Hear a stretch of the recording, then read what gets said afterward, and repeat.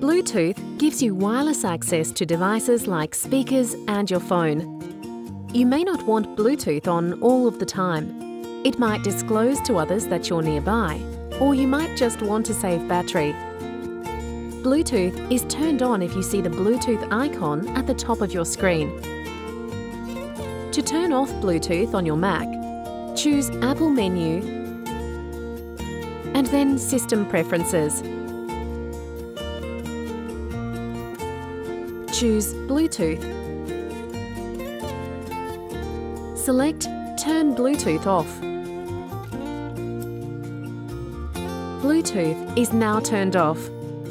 You need to be aware that turning off Bluetooth is not an option if you're using a wireless keyboard or mouse that requires Bluetooth to function. Find out more at eSafety for Women.